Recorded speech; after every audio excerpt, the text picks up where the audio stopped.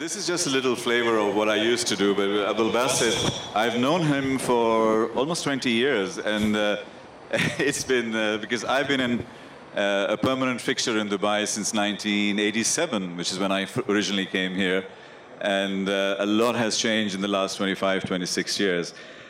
Uh, can you just share some of your thoughts?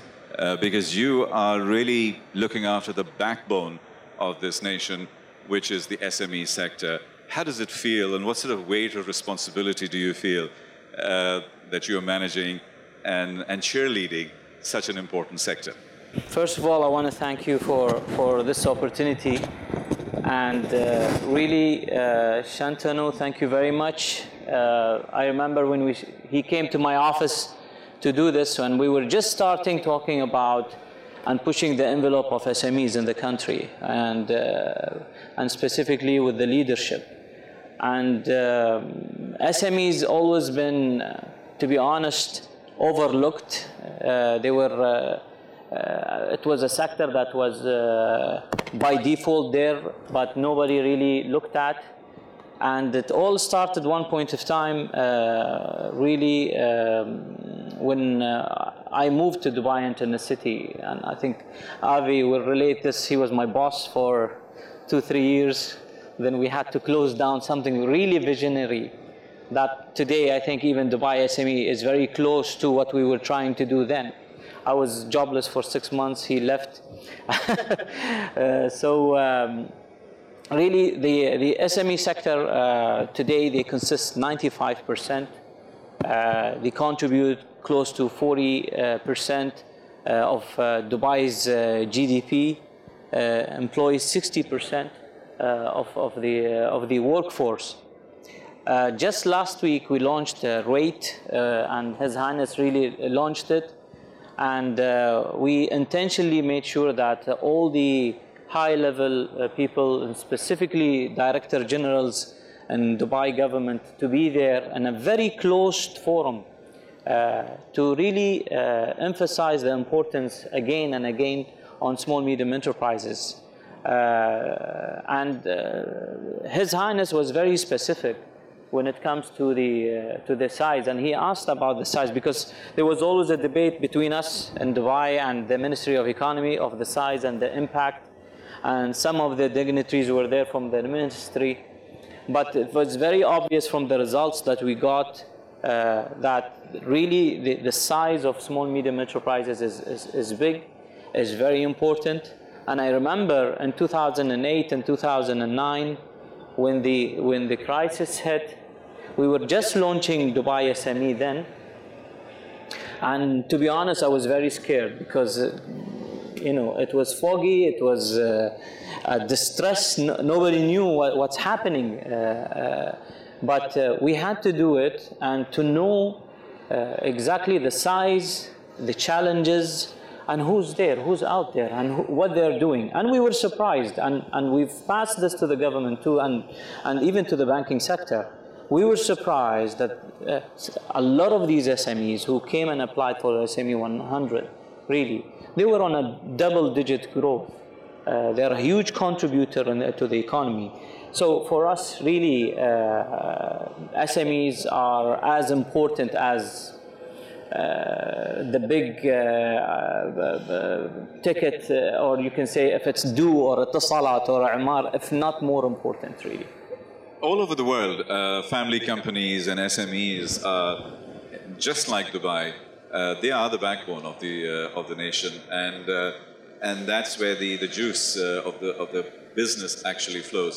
Now, over the last three years, and I, I was pretty tough in my questions in terms of how, uh, how much are the SMEs being supported. Apart from the political positioning, and I know we want to emotionally support them, are they really getting support? yes, definitely they are getting support. Today, a lot of such setup, uh, I mean, the, the, the companies are, uh, that, that, are outside in the market. Uh, it's not as bad as that, but support is a very broad uh, uh, word. You know, if you're talking about direct uh, support, financial support, or if it's uh, emotional support or mentorship support. Yes, there, are, there is. Sure. Uh, let's talk about financial support. One of the key things is that the average SME that I talk to cannot get a loan from a bank. Um, the VC market is very, very raw and young, and uh, only a few exceptions manage to squeeze through uh, to be able to make that. And a lot of funds have now been set up and so on. So I think it's being recognized. Yes. Um, how do you see that taking shape, and how do people really tap into that and uh, make great businesses here?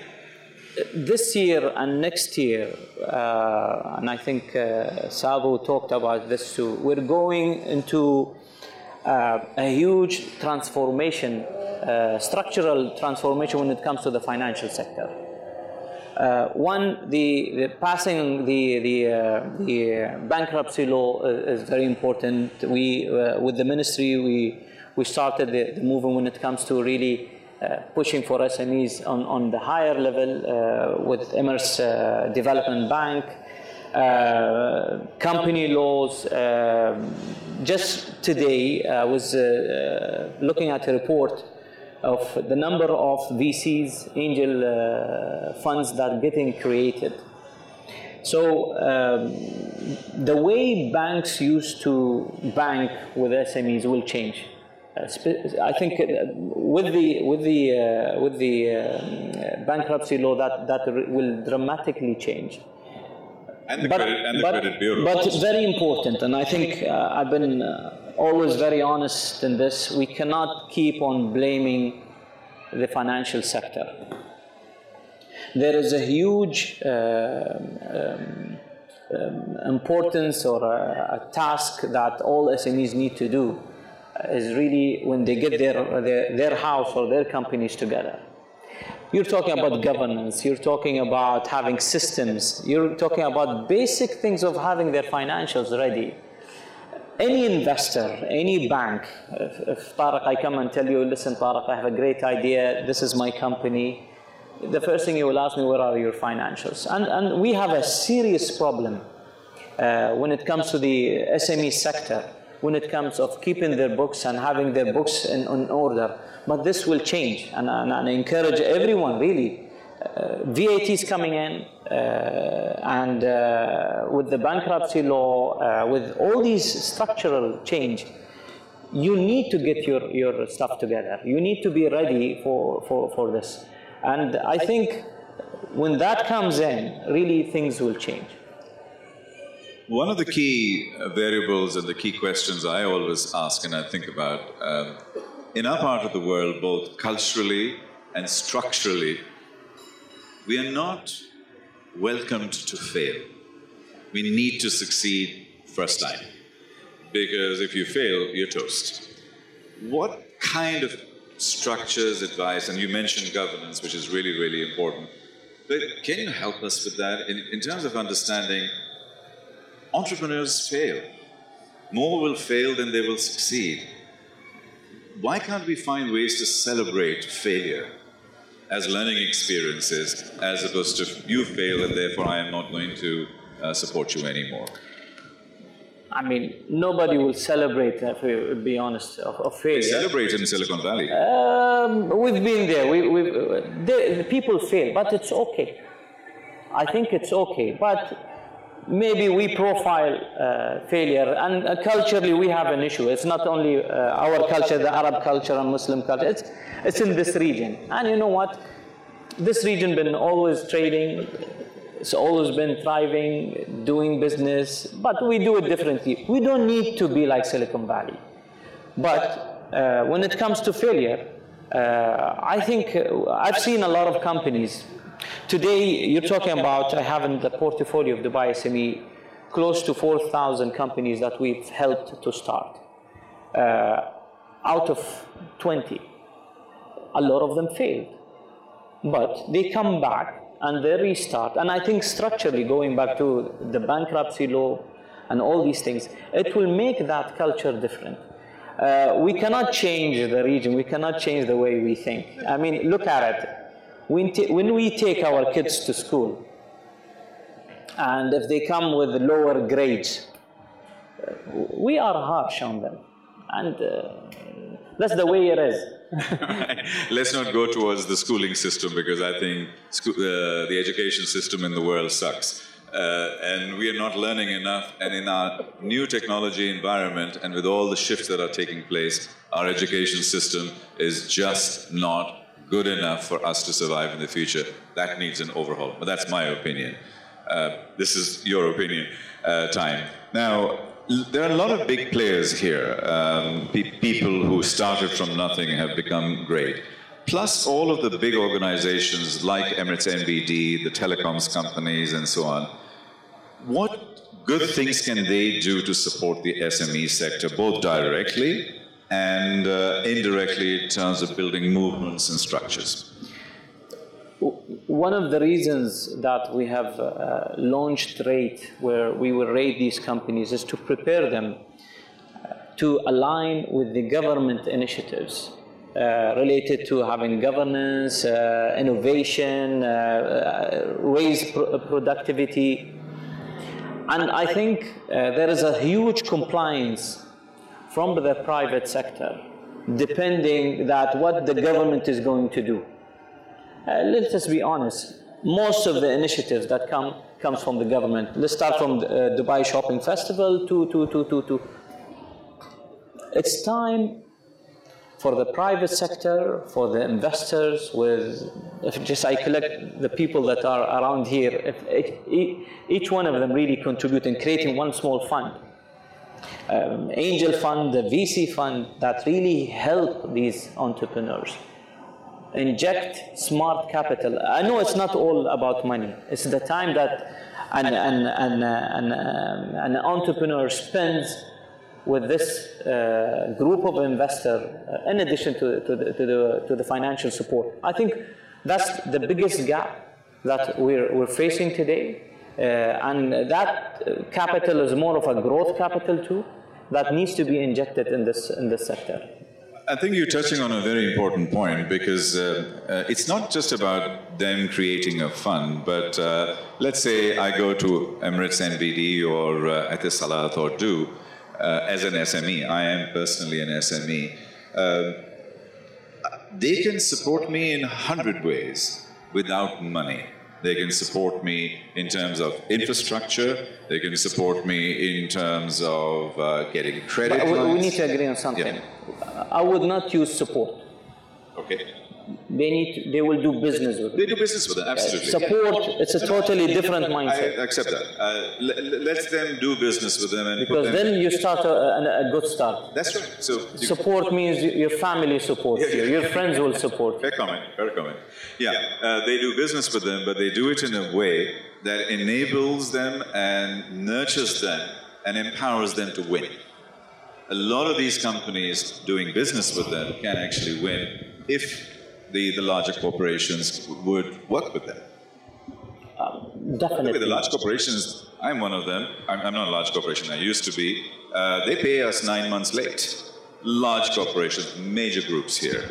They don't even help the SME sector, and I die while they're not paying me. unfortunate. I think uh, good corporations, and sometimes I think this is where, for SMEs, they need to be selective, even who they're dealing with. They should not.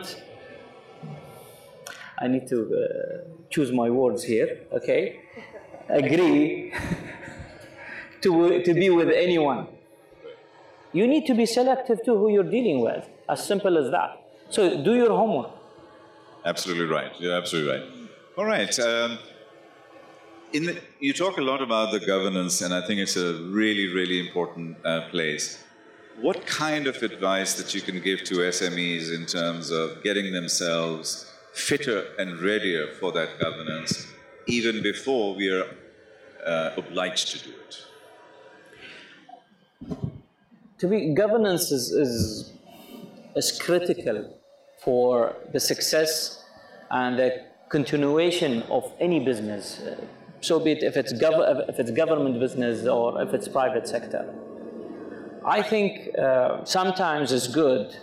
Um, again, this is one of the problems we have in this region when boards get formed, people like to bring people who they say yes to them and they are okay with them and they're happily uh, ever after together. And that's a critical problem, uh, one of the problems really that uh, companies fail.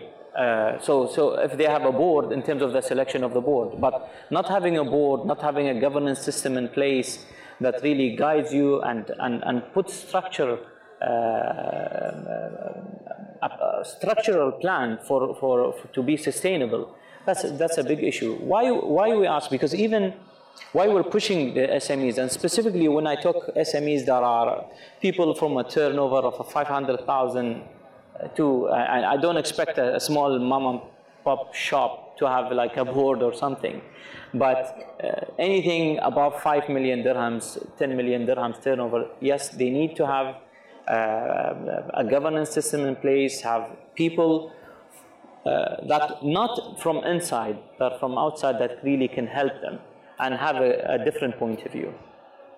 Abdul would you like to give any bit of advice and things that we don't normally hear and you have insights and uh, so that people can uh, respond to that and then we'll open it up to a Q&A for you.